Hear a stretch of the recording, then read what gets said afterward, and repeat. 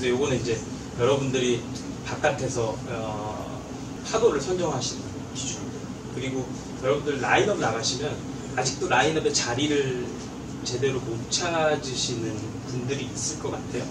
그럴 때는 뭐 아마 들어보셨을지 모르겠지만 삼각식량법이라는 걸 이용을 해서 여러분이 그 자리를 아 내가 여기 이 자리에서 딱 있으면 되겠다. 근데 사실 이 자리가 계속 어딘지 모르잖아요. 물 안에 뭐 교차로가 있는 것도 아니고 신호등이 있는 것도 아니고 이럴 때는 지형 지구라고 이런 걸 이용하시면 되는데 여기 여러분 여기 나가시잖아요. 삼각식량이면 이렇게 되는 거거든요. 그래서 좌우측에 있는 지형 지구 그리고 해변에 있는 지형 지구. 근데 해변에 뭐 사람이 있다고 사람 그걸로 하시면 안 돼요. 왜냐면 그러면 이동할 수 있으니까.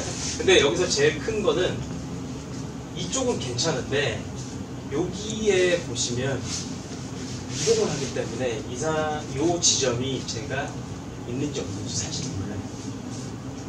그러니까 이게 제가 이쪽으로 갔지만 이게 앞으로 보이는 경우도 있거든요. 두 개를 선정하셔야 돼요.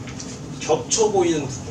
그래서 해변에 나무 하나 또는 여기 민가 아 나무랑 민가가 겹치는 지점이 내가 있는 지점이다. 옆에도 아마 그렇게 같이 설정을 해주시면 좋을 것 같아요. 그러면은 나무가 민가에서 비껴가면은 어 내가 해야 돼. 다시 비껴가는 거 그래서 이런 것들을 처음에 여러분 라인업 하신 다음에 바로 파악을 하시면 와 오늘 조류가 있구나. 그러면 밖으로 나가는구나. 안으로 들어오는구나.